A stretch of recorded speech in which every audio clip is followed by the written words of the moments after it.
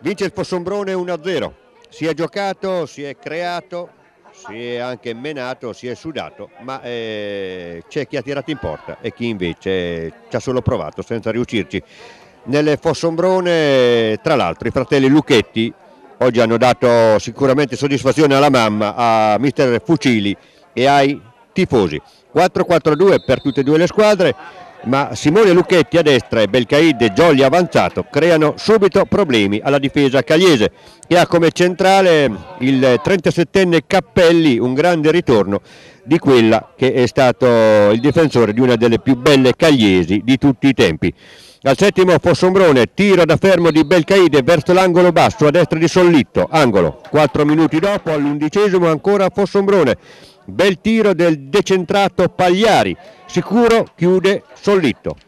Vola qualche calcione di troppo in campo e si deve arrivare al ventisettesimo per vedere il bravissimo Simone Lucchetti scartare anche i fili d'erba sulla fascia destra. Il numero 7 bianco-azzurro entra in area crossa dal fondo, tira Belcaide, brava e fortunata la Cagliese, 0 a 0. Al 41esimo si vedono i locali bianco, scusate, giallo-rossi, mischia in area, nulla di fatto.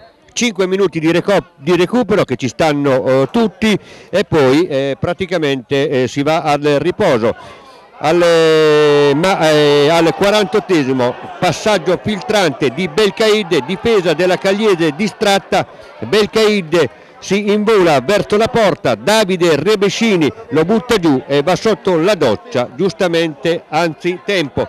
Ripresa però Belcaide non rientra in campo, probabilmente infortunato al suo posto Camilletti 4-4-1 quindi per la Cagliese rimasta in 10 al settimo occasione l'unica per l'unica punta Buroni che non arriva a colpire di testa dall'area piccola. Buroni è l'unica punta della Cagliese. Al quindicesimo lo stesso Buroni esce tra gli applausi al suo posto Petitti.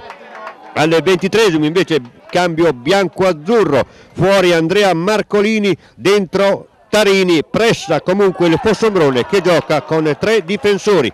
E al 35esimo nel più classico dei contropiede va a terra Pagliari, rigore e cartellino giallo per l'autore del fallo. Sul dischetto Petitti non tira in maniera magistrale ma segna eh, Fossombrone in vantaggio, si cambia ancora, la Cagliese accusa il colpo anche se va avanti molto, con molta generosità, ma il Fossombrone al 38esimo va ancora vicino al gol con due tiri di Biagini e di Luca Bucci.